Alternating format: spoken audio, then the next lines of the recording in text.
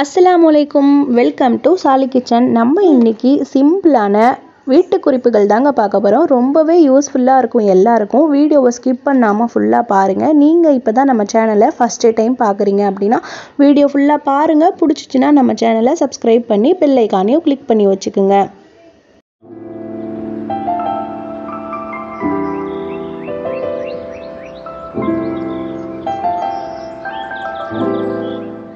First tip வந்து எல்லார் வீட்லேயுமே வந்து இந்த மாதிரி ஊதுபத்தி சாம்பிராணி வீக்லி ஒன் டைம் அல்லது டெய்லி கூட பற்ற வைப்பாங்க. இந்த மாதிரி பற்ற வைக்கும் போது இது சீக்கிரமாக அணைஞ்சு போயிடும் அல்லது இதோட வாசனை சீக்கிரமாகவே போயிடும் அந்த மாதிரி ஆகாமல் இருக்கணும் அப்படின்னா ரொம்ப சிம்பிளான மெத்தடு ஊதுபத்தியை ஃபுல்லாக தண்ணியில் நினச்சிட்டு அதுக்கப்புறம் பற்ற வச்சோம் அப்படின்னா அது ரொம்ப நேரம் அதோடைய வாசனை அப்புறம் ரொம்ப நேரம் எரியும். அதனால் நமக்கு எப்போவுமே வாசமாக இருக்கும். தண்ணிக்கு பதிலாக நீங்கள் வீட்டில் பன்னீர் வச்சுருக்கீங்க அப்படின்னா அந்த பன்னீரில் இந்த மாதிரி லைட்டாக நனைச்சிட்டு அதுக்கப்புறம் நீங்கள் பற்ற வச்சு பாருங்கள் இதோடைய ஸ்மெல்லும் நல்லா இருக்குங்க. ஊதுபத்தியும் ரொம்ப நேரம் எரிஞ்சிட்டு இருக்கும். இதனால நமக்கு ரொம்ப நேரம் அதோடைய வாசனை கிடைக்கும். ரொம்பவே சிம்பிளான மெத்தடுங்க ட்ரை பண்ணி பாருங்கள் ரொம்ப யூஸ்ஃபுல்லாக இருக்கும். உங்கள் ஃப்ரீ டைமில் இந்த மாதிரி பத்திக்கு கொஞ்சமாக பன்னீரை தேய்ச்சி வச்சு அதை நல்லா காய வச்சு நீங்கள் ஸ்டோர் பண்ணி வச்சுக்கிட்டு நீங்கள் பற்ற வைக்கும் போது கூட நல்ல வாசனையாக இருக்கும். அல்லது நீங்கள் பற்ற வைக்கும் போது கூட இந்த மாதிரி பன்னீரை மேலே ஊற்றிட்டு கூட செய்யலாங்க. ரொம்ப சிம்பிளான மெத்தடு வீடு எப்போவுமே வாசனையாக இருக்கும். இந்த மெத்தட் ஃபாலோ பண்ணி பாருங்கள் அதுக்கப்புறம் நம்ம எப்பயும் செய்கிற மெத்தட் தாங்க. இந்த மாதிரி பத்தி ஸ்டாண்டை கீழே வைக்கிறோம் அப்படின்னா இந்த மாதிரி ஒரு பாக்ஸ்குள்ளே வச்சுட்டோம் அப்படின்னா கீழேயே டஸ்ட்டு விழுகாது. இந்த பாக்ஸ்குள்ளேயே எல்லாம் விழுந்திருக்கும். ரொம்ப சிம்பிளான மெத்தடுங்க இந்த டிப்ஸ் பிடிச்சிச்சு அப்படின்னா லைக் பண்ணிக்கோங்க.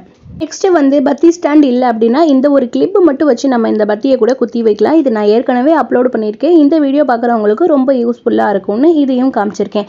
நெக்ஸ்ட் டிப் வந்து இந்த மாதிரி ஒரு மூடியில் நான் டேப்பை போட்டு ஒட்டி இதில் வந்து ஒரே ஒரு சின்ன ஹோல்ஸை போட்டு ரெண்டே ரெண்டு பத்தியை இந்த மாதிரி சொருகி வச்சுருக்கேன். பத்தி ஸ்டாண்ட் இல்லை அப்படின்னா அவசரத்துக்கு இப்படி கூட நம்ம யூஸ் பண்ணலாம். ரொம்ப சிம்பிளான மெத்தடுங்க ட்ரை பண்ணி பாருங்கள் நெக்ஸ்ட் டிப் வந்து குடும்ப பெண்களுக்கு இருக்கிற பெரிய பிரச்சனை இந்த டீ போடுறதும் அப்புறம் நம்ம வந்து சர்க்கரை போட்டோமா இல்லையா? ஏற்கனவே போட்டுட்டோமா அப்படின்னு சொல்லி நிறைய குழப்பம் இருக்கும். போட்ட சர்க்கரையவே திருப்பி கூட போட்டு ரொம்பவே டீ இனிப்பாக இருக்கும். நானுமே சம்டைம்ஸ் இந்த மாதிரி பண்ணியிருக்கேன்.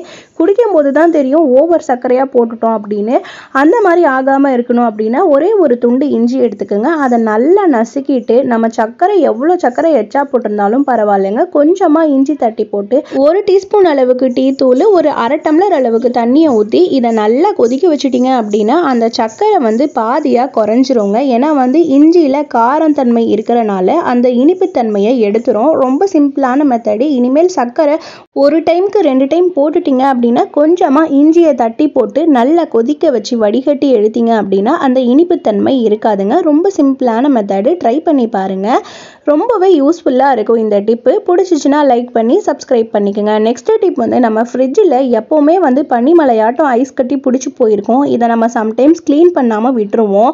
இது பிடிக்காம இருக்கணும். எப்படி க்ளீன் பண்ணணும்னு சொல்லிட்டு நம்ம ஃப்ரிட்ஜ் ஆர்கனைசர் கூட போட்டிருக்கோம். பார்க்காதவங்க டிஸ்கிரிப்ஷனில் லிங்க் கொடுக்குறேன் பாருங்கள் இப்போ எல்லா ஊர்லேயுமே வந்து மந்த்லி ஒன் டைம் வந்து ஷட் டவுன் ஆக்குறாங்க. அந்த மாதிரி ஷட் டவுன் ஆகிற டைமில் இந்த மாதிரி ஐஸ் கட்டி எல்லாத்தையுமே வந்து இந்த கீழே ட்ரே இருக்கு இல்லைங்க அந்த ட்ரேலையே இந்த மாதிரி தள்ளி விட்டுருங்க. இந்த மாதிரி செஞ்சு நம்ம க்ளீன் பண்ணும்போது நமக்கு பின்னாடி அந்த ஃப்ரிட்ஜுக்கு பின்னாடி தண்ணி தேங்கி நிற்கும் இல்லைங்க. அந்த தண்ணியை அடிக்கடி எடுத்து சுத்தம் பண்ணணுன்ட்டு அவசியம் இல்லை. இந்த மாதிரி செஞ்சுட்டோம் அப்படின்னா நமக்கு அந்த இடத்துல தண்ணியும் தேங்கி நிற்காது கொசுவும் பரவாது. ரொம்ப சிம்பிளான மெத்தடுங்க உங்கள் ஊரில் ஷட் டவுன் ஆகிற டைம் டைமில் நம்ம ஃப்ரிட்ஜை ஆஃப் பண்ணி வச்சு செய்யணுன்ட்டுலாம் அவசியம் இல்லை. மந்த்லி எப்படியாச்சும் ஒரு டைம் ஷட் டவுன் வரும்.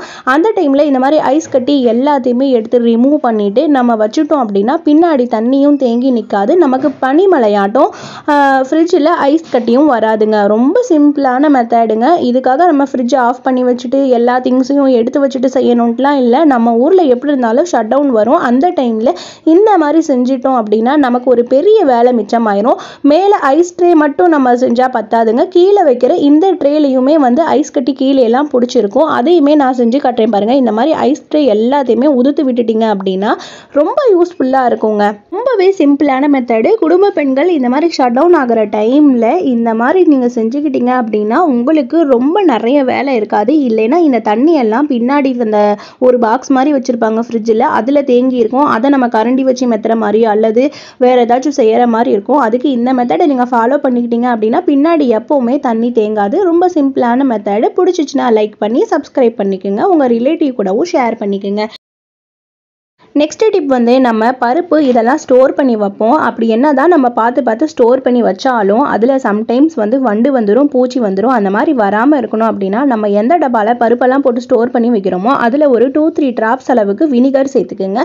வினிகரை சேர்த்து நல்லா இந்த மாதிரி தேய்ச்சி விட்டுறணும். வினிகர் இல்லை அப்படின்னா வீட்டில் உங்ககிட்ட தேங்காய் எண்ணெய் இருந்துச்சுன்னா நீங்கள் தேங்காய் எண்ணெய் கூட போட்டு இந்த மாதிரி நல்லா தேய்ச்சி விட்டுடலாம் பருப்புலேயே கூட நம்ம நல்லெண்ணெய் விளக்கெண்ணெய் போட்டு நல்லா தேய்ச்சி வச்சோம் அப்படின்னா வண்டி எதுவுமே வராது. அதெல்லாம் செய்கிறதுக்கு நேரம் இல்லாதவங்க இந்த மாதிரி லைட்டாக தேங்காய் எண்ணெய் அல்லது வினிகரை இந்த மாதிரி நல்லா தேய்ச்சி விட்டுட்டு நீங்கள் என்னத்தை ஸ்டோர் பண்ணி வைக்கிறீங்களோ அதை இந்த மாதிரி போட்டு வச்சிங்க அப்படின்னா எப்போவுமே வண்டு புழு பூச்சியெல்லாம் வராதுங்க. இதே மெத்தடில் நீங்கள் மைதா மாவு கோதுமை மாவு கூட ஸ்டோர் பண்ணலாம். ஆனால் கோதுமை மாவு மைதா மாவு எல்லாமே இந்த மாதிரி கவரோட வைக்கணுங்க. நம்ம வந்து கொட்டி வைக்கக்கூடாது. இந்த மாதிரி வச்சிங்கனாலும் வண்டு புழு பூச்சி வராதுங்க. நெக்ஸ்ட் டிப் வந்து நம்ம ஏதாச்சும் ஊறுகாலாம் தாளிக்கிறோம் அப்படின்னா நம்ம என்ன செய்வோம்? இந்த மாதிரி எண்ணெயை காய்ச்சிட்டு கடுகெல்லாம் போடுவோம். போட்டால் இந்த மாதிரி சின்ன கடாயில் வச்சு செய்யும் போது மேலே எல்லாமே தெரிச்சு கேஸ் அடுப்புலாம் வீணாகிறதுக்கு சான்சஸ் இருக்குங்க.